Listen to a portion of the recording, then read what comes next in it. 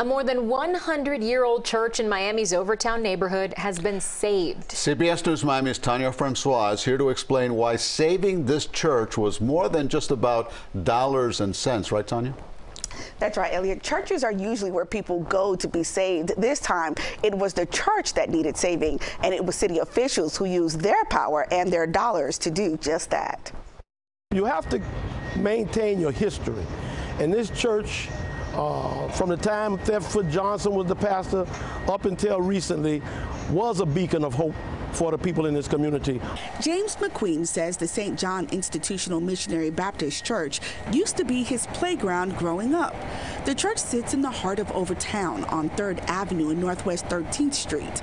So when the church fell into financial hardships due to a bad mortgage taken out by a now former pastor, it was a woman whose last name happens to be King who he worked with. Well, this is one of the oldest churches in this community, and it was established in 1911. And to lose this church would be a setback. Christine King is a Miami City Commissioner and heads the CRA. This property would have sold to developers or whoever who don't care about the community and the uniqueness of this neighborhood.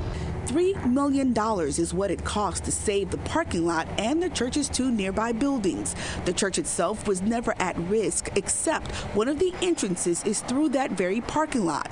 McQueen says the future of Overtown depends on keeping its history preserved.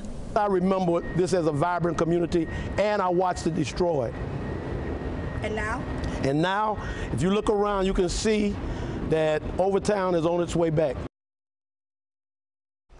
So the church will have to pay the $3 million back, and the CRA says they will work with church administrators to make sure they can meet those terms. In the studio, Tanya Francois, CBS News, Miami.